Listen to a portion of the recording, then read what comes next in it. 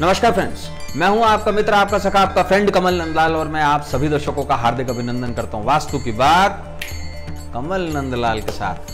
सिर्फ़ एस्ट्रो तक पर। एस्ट्रो तक एक ऐसा मंच जो आपके जीवन को सरल, सुगम और सफल बनाने का प्रयास निरंतर जारी रखे और ये प्रयास आगे भी जारी रहेगा। इसलिए एस्ट्रो तक को लाइक करें सब्सक्राइब करें शेयर करें हमारे वीडियोस यूट्यूब और फेसबुक पर। तो चलिए खास बात और विशेष बात। आज का विशेष वास्तु का टॉपिक ये रंग कहीं बनाना दें आपके जीवन को बेरंग। जी हाँ, रंगों का ही है चमत्कार और रंग ही मचाते हैं खलबली आपके जीवन में। धूप में काले कपड़े पहनकर निकल जाइए, देखिए क्या हालत होती है। किसी सांड के सामने लाल कपड़े पहन लीजिए, देखिए क्या हालत होता है। रंग बहुत मैटर करता है। जो लोग लूनियसी का शिकार होते हैं, पागलपन का शिकार होते हैं, उन्हें सफ़ेद कपड़े पहनना मना होता है। सफ़ेद के साथ में उनका साइकोलॉजिकल बैलेंस खत्म हो जाता है। रंग कितना महत्व रखते हैं हमारे जीवन में? लोग कहते हैं, शनि की महादशा में या राहु की महादशा में काले, नीले, भूरे, हरे कपड़े ना पहनने। आप बहुत सारे एस्ट्रोलॉजी से मिलिए, वो आपको बोलेंगे काले रंग के, नीले रंग के, भूले रंग के और हरे रंग के कपड़े ना पहनिए बुद्ध जब बारहवें भाव में होता है कुंडली में तो लोग क्या बोलते हैं, हरे रंग का इस्तेमाल करना छोड़ दीजिए। तो रंग कितना डिफेक्ट पैदा कर सकते हैं। जिनके जीवन में शुक्र सौम्यता रखता है, वो गुलाबी रंग पहनते हैं तो कितना खिलते हैं। कितना शुभ होता है उनके लिए। क्योंकि शुक्र वहाँ पर अट्रैक्शन देता है। और वहीं पर ही एक शामल वर्ण के महिला को या शामल वर्ण की पुरुष को, जो बहुत ज़्यादा डार्क कॉम्प्लेक्शन का हो, आप उसे मजेंटा रंग पहना दीजिए, ऐसा लगेगा कॉन्ट्रास्ट कुछ रंग स्त्रियों के लिए बहुत शुभ होते हैं। अब एक बात बताइए कि नॉर्मली महिला वर्ग पिंक कलर की ट्राउजर्स पहन लेती हैं या जीन्स पहन लेती हैं। क्या पुरुष गुलाबी रंग की ट्राउजर्स या जीन्स पहनते हैं। नहीं, क्योंकि वो मैस्कुलाइन है और कलर फेमिनाइन है। क्या एक विवाहिता स्त्री सफ़ेद साड़ी पहनती है? नहीं। क्यों? क्योंकि वो उसके अनुकूल नहीं है। वो लाल, पीले, गुलाबी मरून मजेंटा कलर के वस्त्र ज़्यादा पहनती है। जो उसकी शुभता को, उसके सौभाग्य को दर्शाता है। और हम सभी कहीं ना कहीं गर्मी के दिनों में कोशिश करते हैं light shade light blue colour white colour या लाइट ग्रीन कलर के कपड़े पहनने की। वो ठंडे होते हैं। और वहीं सर्दी के दिनों में हम काले को, हम भूरे को ज़्यादा महत्वता देते हैं या डार्क ब्राउन को महत्वता देते हैं। कारण क्या? और अगर हम विरोधाभासी चल जाएँ तो ये रंग जीवन को बेरंग बना देते हैं। चलिए, रंगों के बारे में कुछ और आपको जानकारी देते हैं। रंग जीवन और जीवंतता का प्रतीक है। रंगों से प्रेम हमारी अलग मनोभावनाओं को अभिव्यक्त करता है। मानव जीवन पर जिस जगह वो बैठा है या जिस जगह उसका घर है उसका कार्यस्थल है, ऑफ़िस है। वहाँ पर ऊर्जा का बहुत गहरा प्रभाव होता है। और इस ऊर्जा को संतुलित करने के लिए हमें रंगों का चुनाव करना पड़ता है वैज्ञानिक रूप से। किसी भी घर में या ऑफ़िस में उसके मास्टर, यानी कि गृह स्वामी का शयन कक्ष, कारखानों, कार्यालयों में दक्षिण पश्चिम दिशा में जो भाग हो, वहीं दीवारों और फर्नीचर आदि का रंग हल्का गुलाबी अथवा नींबू जैसा पीला हो तो बहुत बढ़िया रहता है।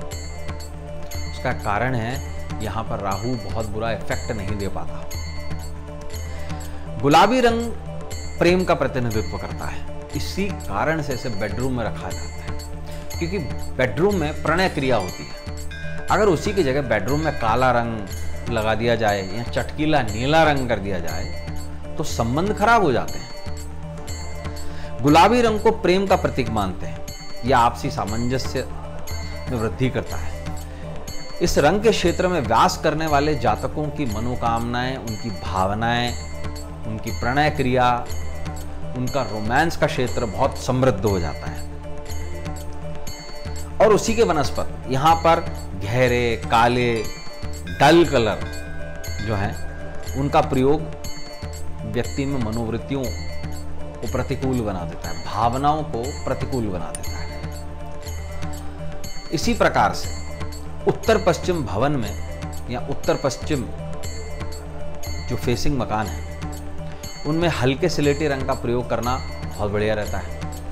क्योंकि ये जो है, ये चंद्रमा की फेसिंग दिशा है, यहाँ पर सिल्वर या किसी तरीके से कुछ ऐसा कलर जो चंद्रमा को रिप्रेजेंट करता है वाइट हल्का सा सिल्वर, हल्का सा ग्रेश की तरफ़, थोड़ा सा जो चंद्रमा का रंग है, बहुत शुभता प्रदान करता है। इस रंग के क्षेत्र में वास करने वाले लोग जो हैं, उनकी मनोकामनाओं पर गहरा प्रभाव पड़ता है।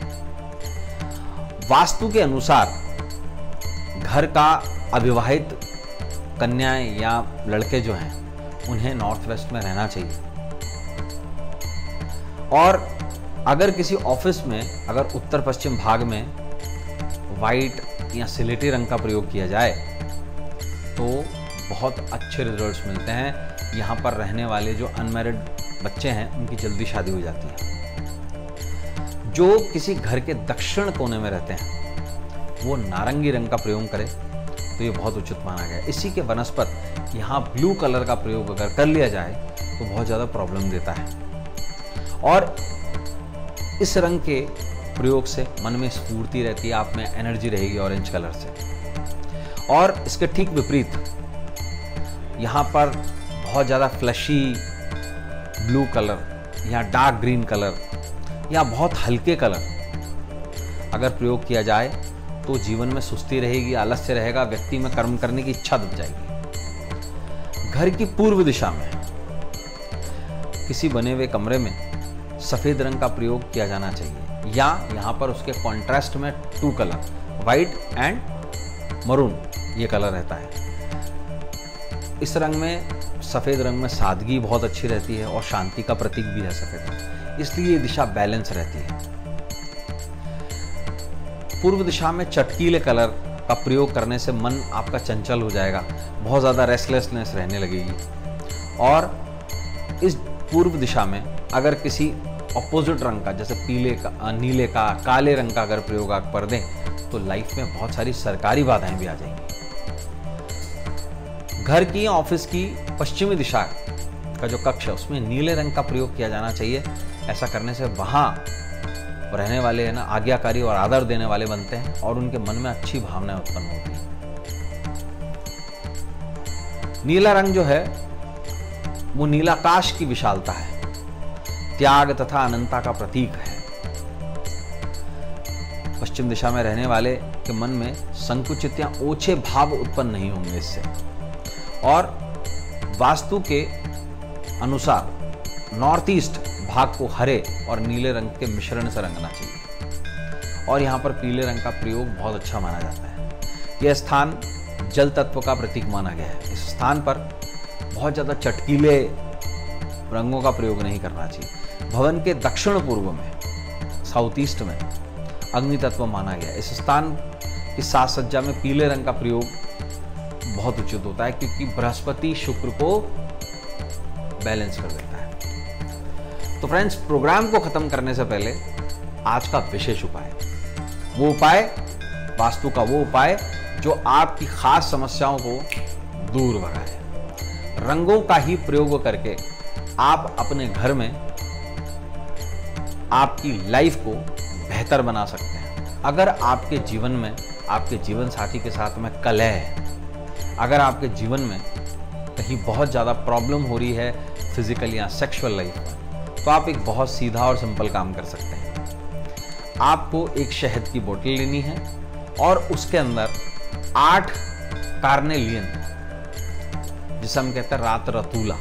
ये पत्थर रखने हैं और सात व सात के अंदर इसे घर की दक्षिण दिशा में आपको प्लेस करना है। और ठीक इसके पास में ही आपको एक सिंदूर से त्रिकोण बनाना है ट्रायंगल इस तरीके का ट्रायंगल जो ऊपर की तरफ़ जा रहा हो। नीचे की तरफ़ नहीं, ऊपर की तरफ़ जा रहा हो। सिंदूर से इस ट्रायंगल को बना दें और छोटा सा ही सिंदूर, लगभग लगभग दो इंच पर लाइन के हिसाब से इसे बना दें और इसे सिंदूर से बनाएँ। और इसके बीच में काजल से क्लीन लिख दें। और ये जो रात रतूले आपने आठ रखे हैं शहद में कि उसके पास में आप प्लेस कर दें। सच मानिएगा, दिन रात का अंतर आएगा आपकी सेक्सुअल लाइफ में, आपकी रोमांटिक लाइफ में, और आपका शैया भाव जागृत हो जाएगा। तो फ्रेंड्स आज के लिए बस इतना ही। कल आपसे फिर मुलाकात होगी। तब तक देखते रहें श्रोता, कब अपने मित्र, अपने सखा, अपने फ्रेंड कमल नंदलाल को इस उम्मीद के साथ इजाज़त दीजिए कि आपका आने वाला कल आज से कुछ तो बेहतर हो। तब तक के लिए नमस्कार।